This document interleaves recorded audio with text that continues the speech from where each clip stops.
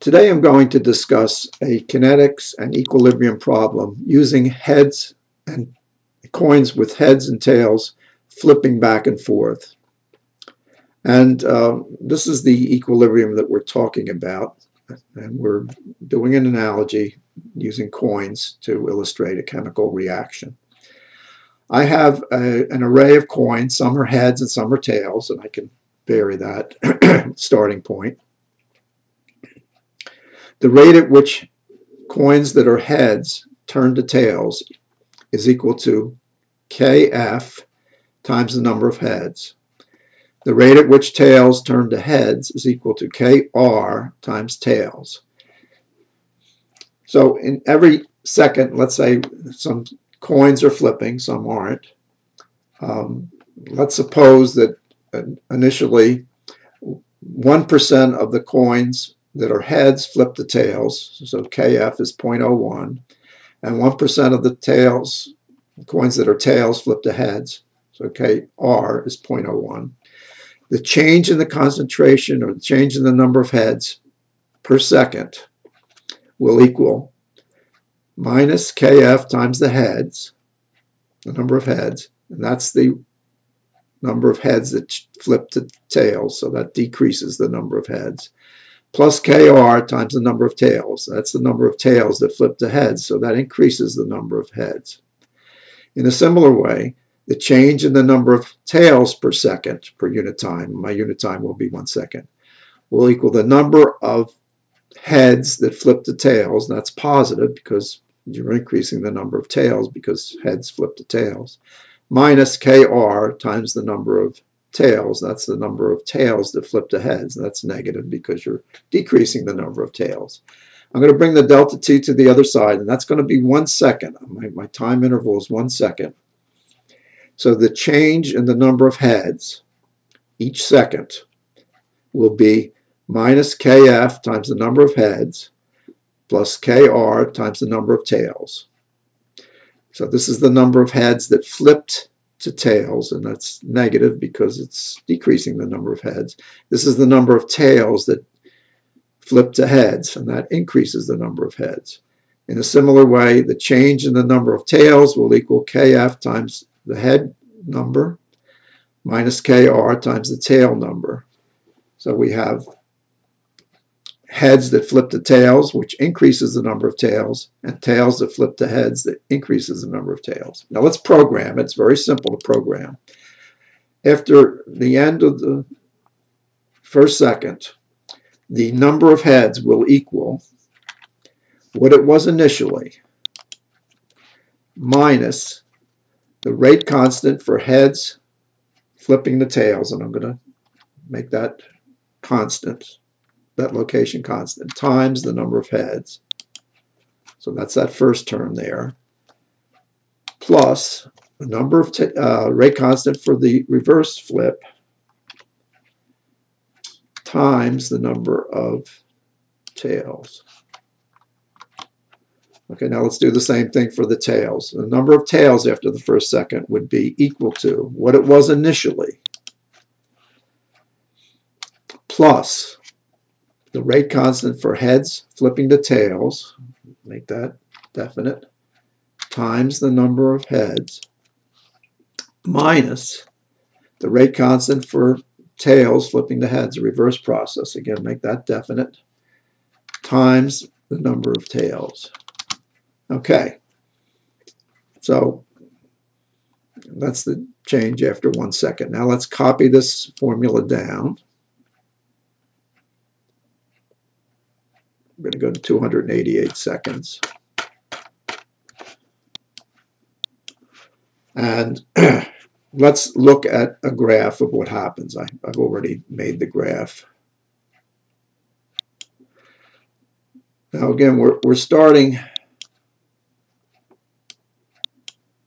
we're starting with 5,000 heads and no tails.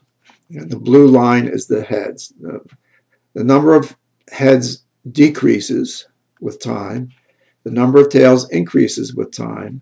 But eventually we get an equal number of heads and tails because the rate constants for each are the same. At a point of 2500, the number of heads each second that are flipping to tails is equal to the number of tails that are flipping to heads. The two rates are equal, and so we get an equilibrium situation. The equilibrium constant, which is the ratio heads to tails, or tails to heads, is 1. Actually, the equilibrium constant is the ratio of, uh, of, of tails to heads. Let's just change the situation a little bit. Instead of starting with uh, 500 heads, let's start with uh, 5,000 heads. Let's start with 4,000 heads and 1,000. I'm going to keep my total at, at, at 5,000.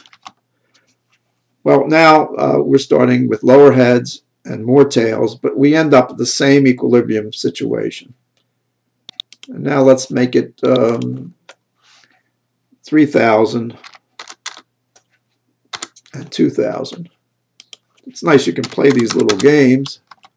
And again, and of course if we made it to 2,500 and 2,500, it's already at equilibrium.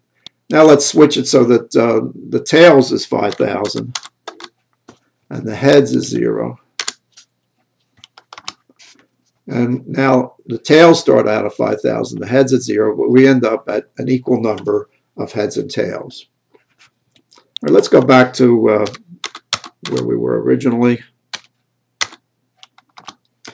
And let's make the rate constant for the forward reaction. Let's say we have coins that, uh, for some reason, um, don't flip at equal rates. Let's say that this uh, the, the rate at which heads go to tails is twice as large as the rate at which tails go to heads. So 2% of the coins that are heads flip to tails each second, but only 1% of the tails, the coins which are tails, flip to heads. And now we're going to see that uh, we don't end up with uh, an equal number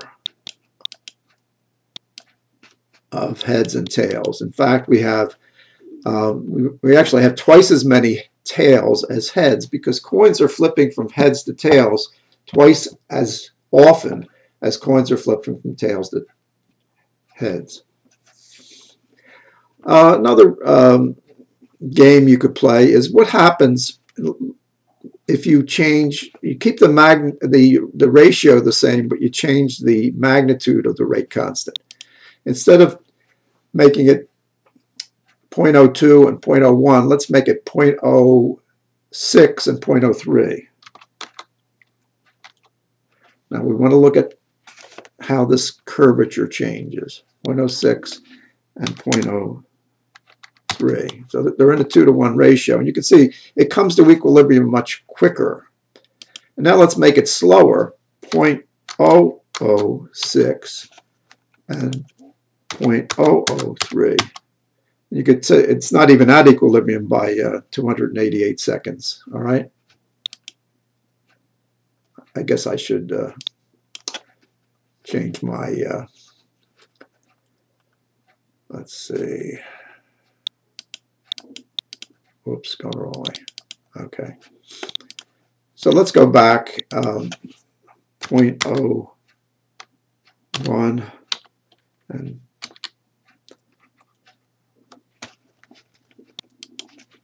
Point oh one. Okay. Okay, well, you can uh, you can do various things with this. I think it's instructive to for an understanding of equilibrium. And uh, in a later podcast, I'll do it in terms of molarity instead of coins. But uh, there are many one-to-one type reactions. Uh, cis-trans isomerizations come to mind, uh, but there are many other types where you have a one-to-one -one reaction and the chemical equilibrium associated with it. So I hope you understand how you can use Excel to do simulations. I think it's a very um, useful device, and I've learned a lot about uh, different scientific processes using Excel. So thank you for your attention, and I'll see you next time.